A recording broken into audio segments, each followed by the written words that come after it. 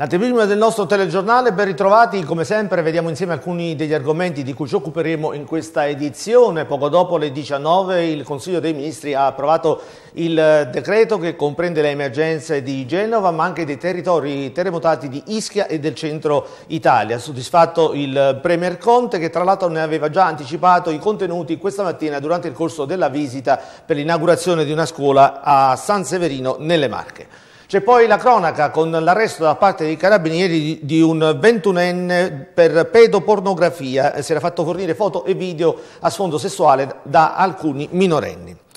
Ad Ischia, a Piano Liguori, c'è un sentiero degradato e pericoloso. Si tratta del famoso sentiero detto del Malupass, dove nello scorso anno, a distanza di pochi mesi, persero la vita ben due turisti tedeschi cadendo nel vuoto. Sul lavoro, garanzia giovani e l'impegno della Regione con il finanziamento di altri 221 euro, milioni di euro per la formazione è intervenuto questa mattina ad Ischia l'assessore regionale Sonia Palmieri. Ed intanto per quanto riguarda il calcio, la Coppa Italia, torneremo sulla vittoria del Procida sull'Ischia che ha passato quindi il turno il Procida e ascolteremo il commento dei protagonisti nel dopogara. Di questo ed altro ancora ci occuperemo come sempre tra pochissimo dopo la pubblicità.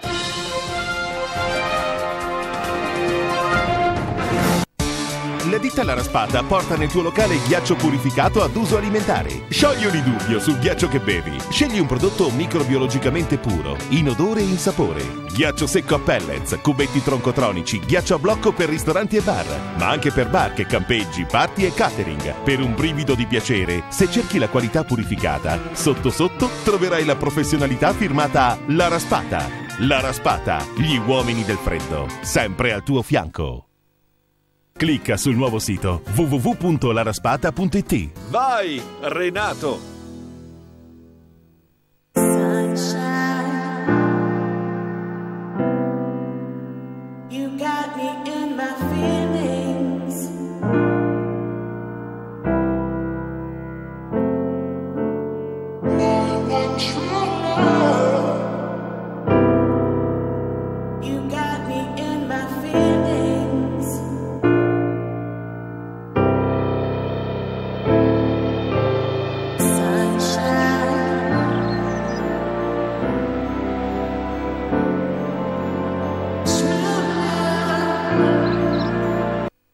Albergo Carlo Magno sull'isola d'Ischia. Un posto da sogno, un panorama mozzafiato, il luogo ideale per una vacanza speciale. Hotel 4 stelle, tutti i comfort, quattro piscine, palestra, camere e residence con arredamento in stile mediterraneo. A pochi passi dai centri storici di Forio e di Lacco Ameno, con agevoli collegamenti per le spiagge più belle e per il parco termale Negombo. Servizio navetta gratuito. Hotel Carlo Magno, per una vacanza dove i sogni diventano realtà. L'Hotel Carlo Magno ti consiglia il ristorante La Beccaccia, cucina tipica ischitana e piatti mediterranei. Pesce sempre freschissimo. Per i tuoi momenti più belli, per una serata speciale, per cerimonie e matrimoni. Hotel Carlo Magno e il ristorante La Beccaccia. Emozioni uniche tra il cielo e il mare.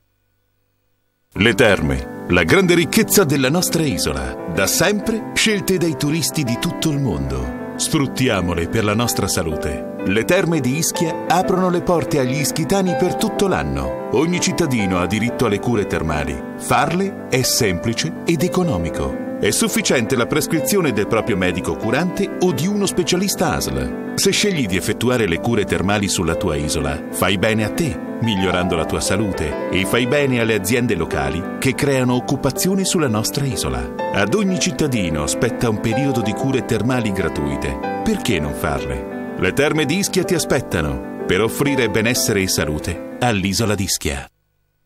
Da una scintilla negli anni 60 nasce Ecoferro. La passione, la ricerca della precisione e del dettaglio è la vera forza della fucina dei maestri artigiani di Ecoferro. Una storia fatta di generazione in generazione, di pezzi unici, di veri prodotti artistici in ferro battuto. Un'eccellenza made in Italy. Le moderne tecnologie hanno migliorato i nostri prodotti, ma non hanno messo da parte l'incudine e il martello. Col fuoco e le nostre mani modelliamo il ferro, che continua a vivere nelle case degli schitani. Da una scintilla è nata Ecoferro, un vanto per l'isola di Ischia. L'amore per il nostro lavoro ha creato EcoArt. Artigiani per il tuo ambiente.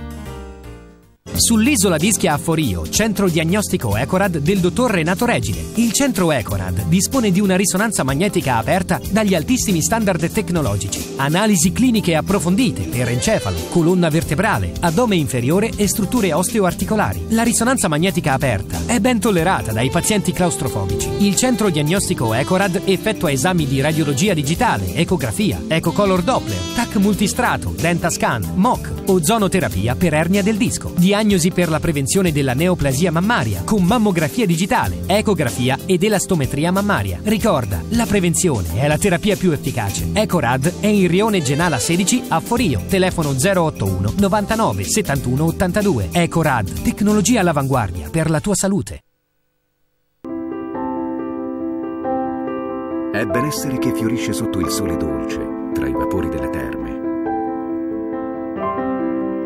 È il piacere della cucina locale che risveglia i sensi con i suoi sapori genuini. Ma soprattutto, a settembre, Ischia è...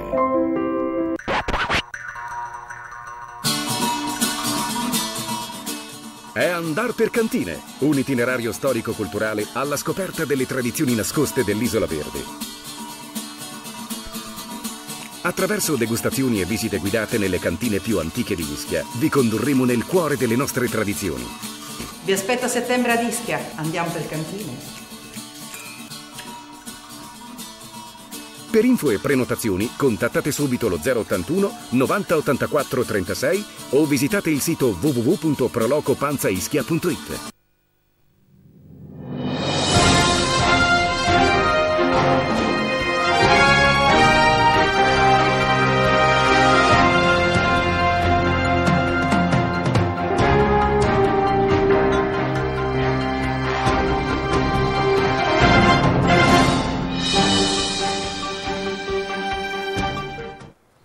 Terremoto varato il decreto Ischia, Conte, dopo un anno interveniamo. Il Consiglio dei Ministri ha approvato l'atteso provvedimento preannunciato stamani dallo stesso Premier Conte in visita a San Severino nelle Marche.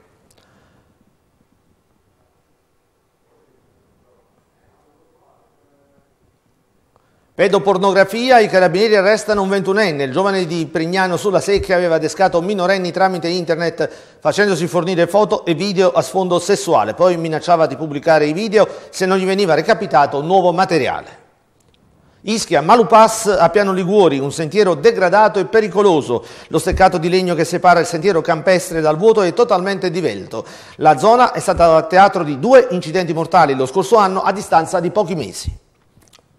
Lavoro, garanzia giovani dalla Regione nuove opportunità di occupazione. L'assessore regionale Sonia Palmeri oggi ad Ischia ha ribadito l'impegno della Regione Campania sul fronte del lavoro. Pronti altri 221 milioni di euro per la formazione.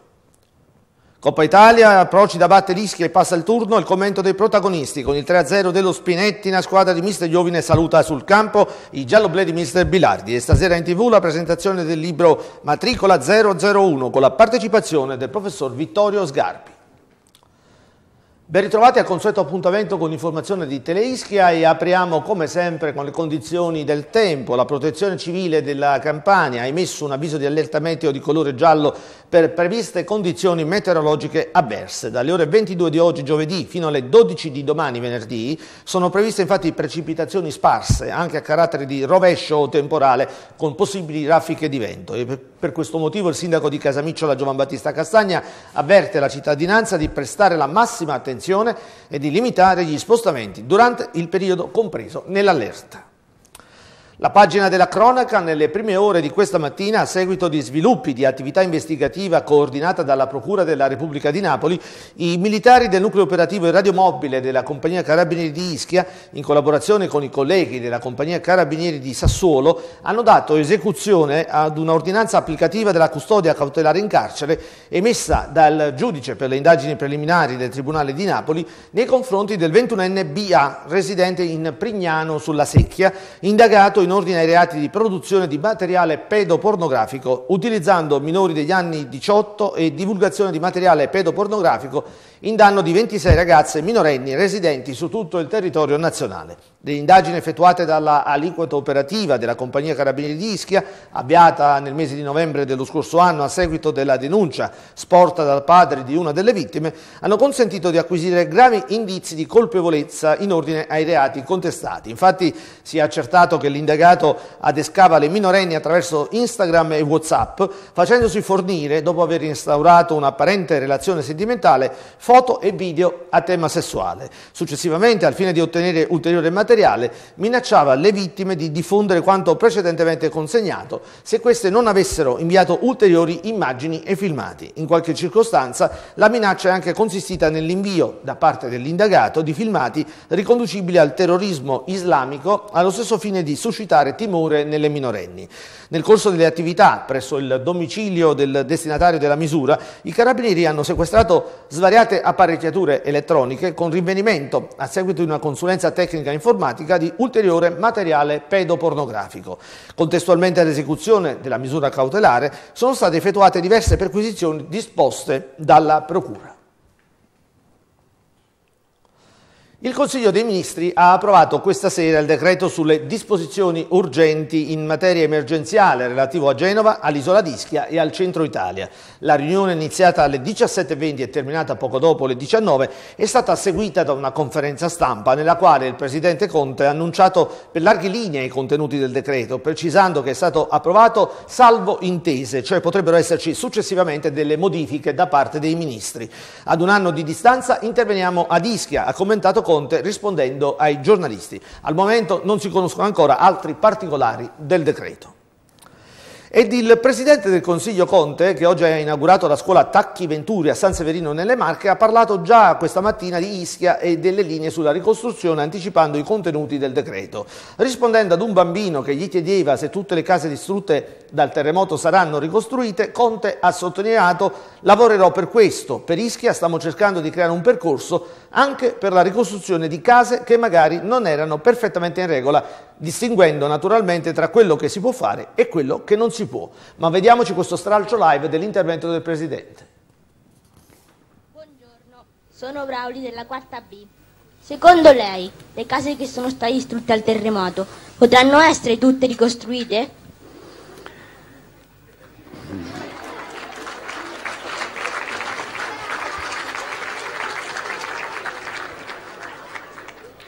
Guarda, lavorerò per questo, te lo prometto. Tu pensa che sono stato... Tu non sei mai stato a Ischia, che è un'isola bellissima? Perfetto. Se ti capita poi con i genitori di visitarla, vacci che è molto bella. Lì per esempio c'è un problema perché molte di queste case erano abusive, che sono state distrutte.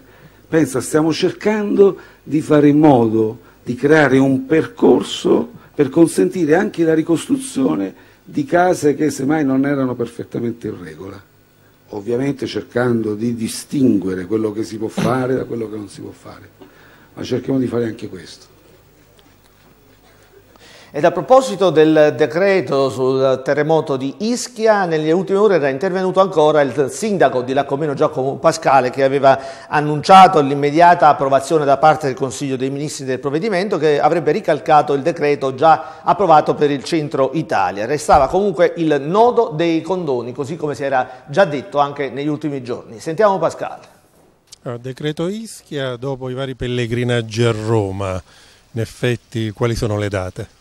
Le date sono quelle di aspettare il Consiglio dei Ministri di venerdì prossimo con la speranza di poter avere finalmente quelle norme richieste e sotto l'aspetto fiscale e sotto l'aspetto eh, tecnico, urbanistico, edilizio per, eh, eh, per immaginarla la ricostruzione, insomma, per uscire dalla, dalla situazione e affrontare concretamente eh, i problemi.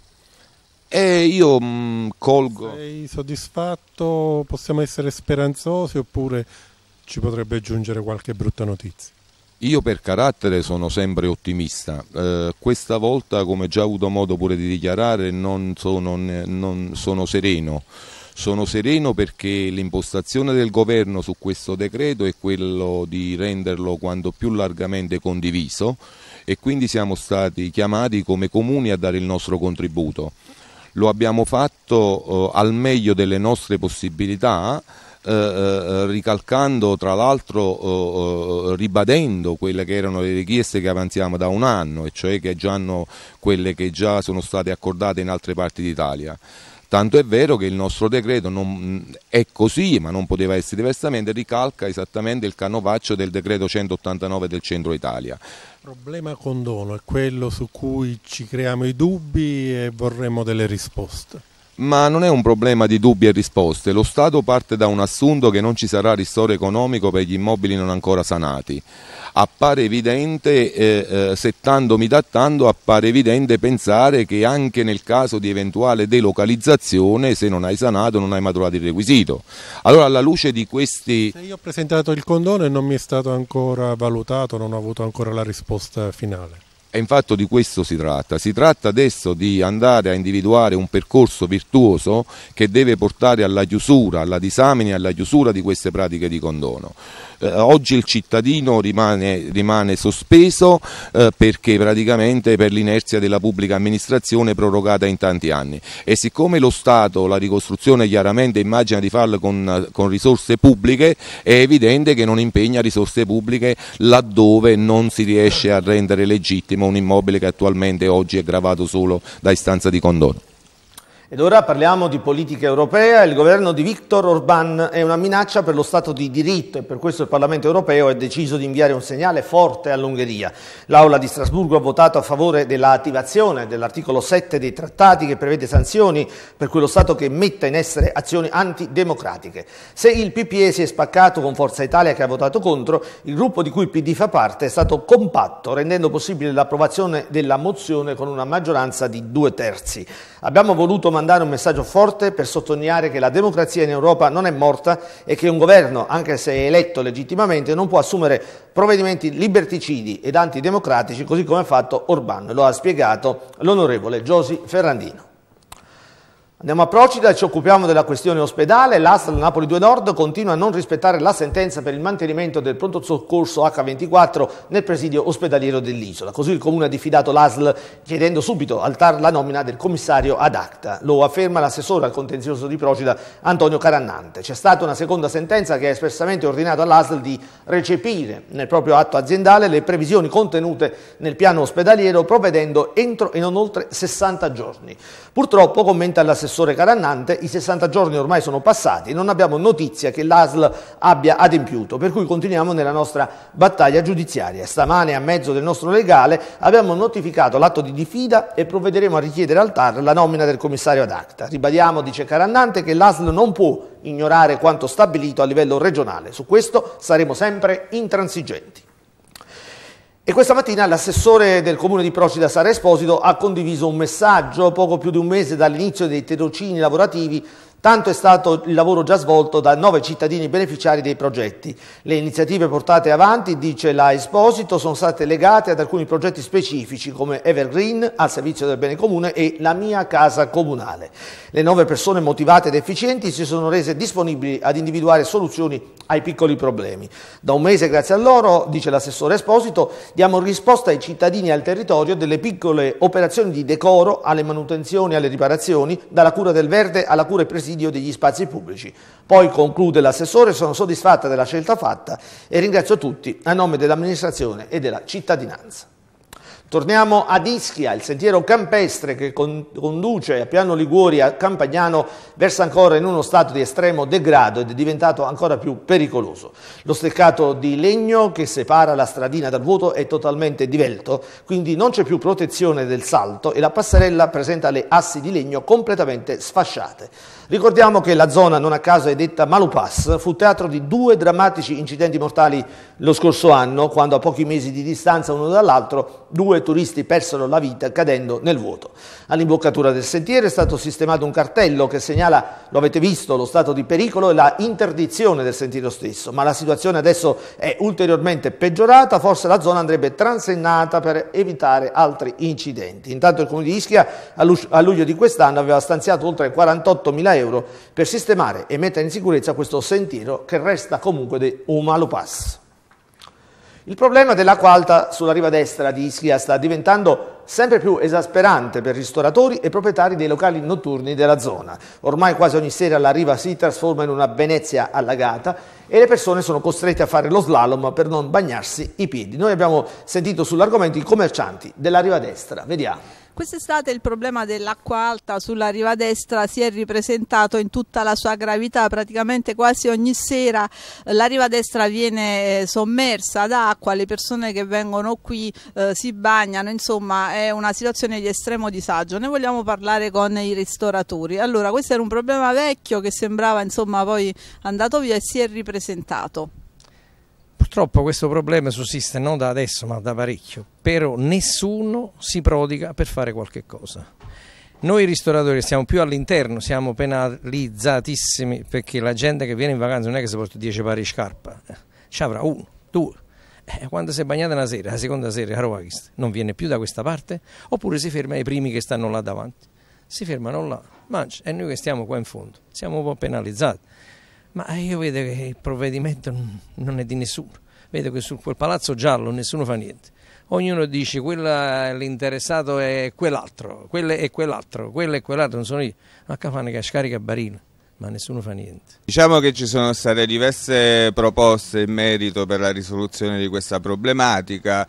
Uh, negli ultimi due anni uh, era un fenomeno che si andava mm, cioè, piano piano ridimensionando, però quest'anno abbiamo avuto l'accentuarsi e l'acuirsi di questo fenomeno, quindi uh, ci sono state tutta una serie di proposte che sono state fatte all'amministrazione, l'amministrazione le sta vagliando, sta cercando di decidere, di decidere quella che è la soluzione migliore e quindi secondo quegli ultimi aggiornamenti ci dovrebbero essere, questo insomma, lo dico in via insomma, molto eh, informale così, eh, delle paratie che si alzano idraulicamente ogni volta che c'è questo fenomeno dell'alta marea, così si evita praticamente di costruire il, diciamo, il, un muretto lì che potrebbe eh, insomma, rovinare il panorama oppure insomma, di innalzare tutta la strada per poi far diventare dei seminterrati i ristoranti. Quindi questa ipotesi, questa soluzione delle,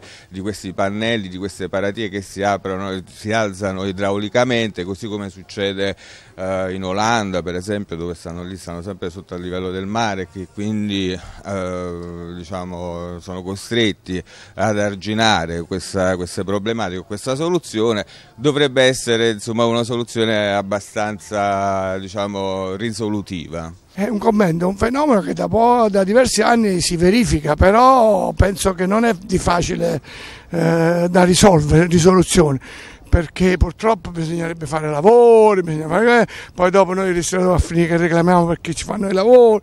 È una cosa da convivere, penso, poi si potrebbe fare, discutere, fare, fare una passerella, per l'inverno, qualcosa si può fare, però non c'è troppo da reclamare secondo il mio punto di vista.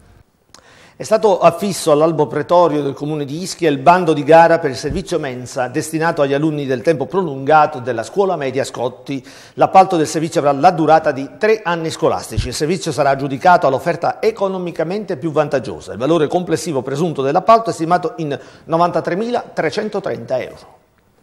Il ruolo della Regione Campania per promuovere iniziative di formazione al lavoro, ma anche per creare opportunità di occupazione. È lo spirito con cui viene varato il nuovo progetto Garanzia Giovani, finanziato con 221 milioni di euro. È un'occasione importante, soprattutto perché nascono nuove professionalità. Lo sottolinea l'assessore regionale al lavoro Sonia Palmeri, di nuovo oggi in visita al Centro per l'impiego al Polifunzionale di Ischia, a poche settimane dalla sua apertura. Sentiamo.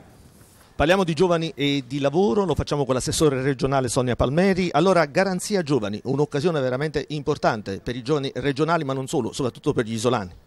Beh sì, è un'occasione importante per i giovani, ci sono opportunità di apprendistaggio, opportunità di formazione, ma soprattutto di lavoro, quindi situazioni veramente di intreccio tra uh, opportunità delle aziende e nuove professionalità che nascono. Per i giovani NIT ancora meglio, abbiamo ancora più esigenza. Diciamo che in questi tre anni di lavoro all'assessorato qui in Regione avete fatto tantissimo come giunta regionale per quanto riguarda l'apertura al mondo del lavoro, soprattutto per i giovanissimi e quelli che escono subito dalle scuole. Beh sì, se vogliamo parlare ancora di garanzia giovane abbiamo dei risultati veramente eccezionali. Noi abbiamo circa eh, 29.600 assunzioni realizzate in Regione Campania, il 50% delle quali a tempo indeterminato, con 35.000 tirocini che sono poi un volano per entrare nel mondo delle aziende. Abbiamo tante misure anche per i giovani professionisti delle 26 categorie eh, professionali ordinistiche e non ordinistiche e soprattutto c'è l'alternanza scuola-lavoro che stiamo portando avanti in maniera molto proficua proprio per insegnare la cultura delle imprese ai giovani virgulti all'interno delle, delle scuole. A proposito di scuole, rapporto con le scuole, come recepiscono questo tipo di sollecitazione le scuole, le scuole superiori? I giovani recepiscono tutto ciò che i docenti riescono a trasferire, quindi sicuramente c'è bisogno di un maggiore coinvolgimento anche dei, eh, dei, docenti, del corpo docente. I dirigenti sono sicuramente più avviati verso l'apertura al mondo del lavoro, i docenti hanno delle loro reticenze molto spesso legate anche al mondo che vivono, alla materia che insegnano e dunque bisogna anche per loro immaginare un percorso che eh, funga come dire, da apertura verso il mondo del lavoro, quello che poi devono eh, concretamente cercare di insegnare ai giovani. Lei diceva reticenze, le aziende quanto lo sono? No, le aziende non sono reticenti soprattutto alle assunzioni. E noi abbiamo avuto un'inversione di tendenza, in questi mesi. L'occupazione sta salendo ma negli ultimi due anni è salita ancora di più l'occupazione giovanile nonostante eh, si faccia sempre come cavallo da, di battaglia proprio il fenomeno eh, della disoccupazione giovanile. Quella si chiama inoccupazione, dobbiamo invece andare a, ad individuare ancora meglio forse le cause di una disoccupazione che riguarda tanti padri di famiglia di aziende che invece hanno chiuso chiuso e quindi non hanno più reddito. E ritorniamo all'impegno della Regione Campania. Quanto è importante il suo ruolo, il suo lavoro come assessorato in questo tipo di situazione, ecco, in mezzo ad aziende, a giovani, al lavoro, a disoccupati? Guardi, io ho sempre fatto impresa, ho fatto per vent'anni l'imprenditrice e quindi senza dubbio eh, il mio approccio al mondo del lavoro è pragmatico e diretto, conosco le esigenze delle aziende e interpreto eh, molto eh, come dire, in profondità sicuramente le loro aspettative ed è per quello che fare il matching tra giovani e meno giovani e mondo del lavoro mi riesce sicuramente più individuabile attraverso delle misure che abbiamo messo in campo ed è per quello che poi sono vincenti. Ora abbiamo la nuova garanzia giovani eh, grazie ai grandi successi che ci ha regalato quella precedente, noi abbiamo ben 221 milioni di euro da appostare su tutte le misure. Dopo quattro anni il capitano Andrea Centrella lascia il comando della compagnia dei carabinieri di Ischia e Procida. Domani venerdì presso la sala consigliare del comune di Ischia alle ore 11 il sindaco Enzo Ferrandino consegnerà al capitano Centrella un attestato di civica benemerenza.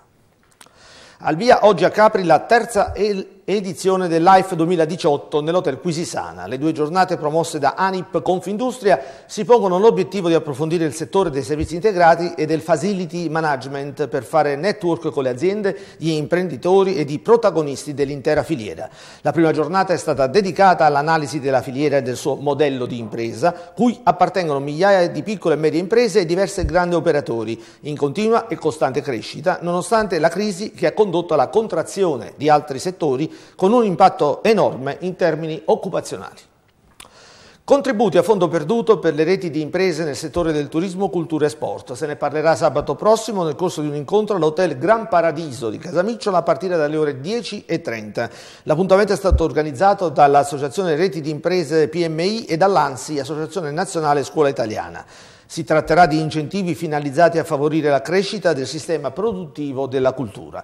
Interverranno la dottoressa Monica Franco, vicepresidente nazionale di Assoreti PMI ed il delegato provinciale di Napoli, l'ingegner Giancarlo Scigliano.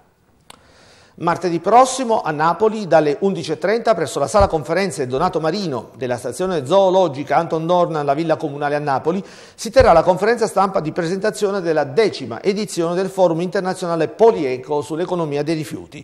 Il forum dal titolo Plastica ancora un futuro si terrà poi all'Acquameno nell'albergo della Regina Isabella il 21 ed il 22 settembre. Nel corso della conferenza stampa di martedì larga attenzione sarà destinata all'uso delle plastiche e alla loro dispersione in mare, partendo dalla situazione del Mar Mediterraneo. E siamo alla pagina sportiva, il calcio, passa il turno di Coppa Italia di promozione del Procida, i biancorossi sconfiggono infatti 3-0 l'Ischia, ribaltando così il 2-1 dell'andata. Grande entusiasmo nell'ambiente, ma ascoltiamo le interviste del dopogara. Noi siamo coscienti che abbiamo fatto una bella squadra quest'anno, non voglio ripetere le parole che già ho detto alla fine della, della, prima partita di andata, però quello che a me interessa è vedere la grinta dei giocatori, l'impegno, anche i nuovi ragazzi hanno capito che diciamo, giocare nel Procida una, gli deve dare una carica in più per la storia, per ciò che Procida rappresenta per gli isolani, per tutti noi, quindi sono contento dell'impegno. Adesso siamo coscienti di avere una buona squadra tra le mani, di fare un bel campionato senza fare nessun proclamo, nessun proclama particolare, però ecco, quello che a noi interessa è che i giocatori siano, cominciano a prendere coscienza che la squadra è importante, che penso che darà molte soddisfazioni ai tifosi, ai dirigenti e anche al Presidente. Avevamo iniziato bene avendo una grossa occasione con Invernini, non realizzando il gol molto probabilmente poi dopo è stata eh, comunque una, una, buona squadra il Procida che ha meritato nettamente poi la vittoria. E hanno fatto due Eurogol eh, con due tiri da fuori aria e in pratica tutti e due nell'incrocio. C'era anche poco da fare, sì, poco da recriminare insomma forse un po' da recriminare sul primo, eh, su un cross a due metri dalla porta, forse Tufano poteva eventualmente uscire, però non ha avuto il tempo. E penso la cosa più importante è aver raggiunto il 2-0, poi che è bello o meno bello può solo far piacere per una questione estetica, però l'importante è che è andato dentro il 2-0, abbiamo iniziato comunque ad essere padroni del campo e poi le cose sono venute ancora meglio andando avanti. Si va avanti in Coppa, in campionato anche siete reduci da un 3-0, ora sabato contro il Ponticelli, come ci arriva questo Proce anche con tanta fiducia, credo? Ci arriva sicuramente concentrato al 100%, poi noi butteremo sempre il cuore oltre l'ostacolo, poi il campo sarà a decidere il vincitore. Il secondo e terzo gol erano veramente impossibili da prendere per il portiere, vabbè non a caso l'hanno fatti Pianese e Cibelli, due grandi giocatori. E bravi loro, ci hanno creduto più di noi, hanno meritato questa vittoria. Noi archiviamo questa sconfitta e pensiamo già domenica prossima a fare una grande partita.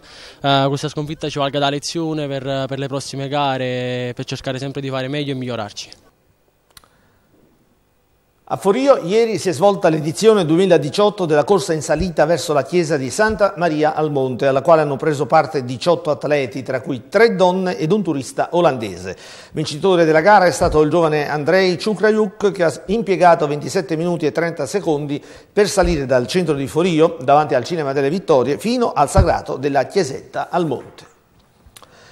All'Hotel Miramare e Castello di Ischia il professor Telmo Pievani, filosofo della biologia e prorettore dell'Università di Padova, ha tenuto la conferenza dall'altra parte della collina. Nell'ambito dell'incontro Pievani ha riproposto i temi trattati nel suo libro scritto col professor Valerio Calzolaio dal titolo Libertà di migrare perché ci spostiamo sempre ed è bene così. Sentiamo.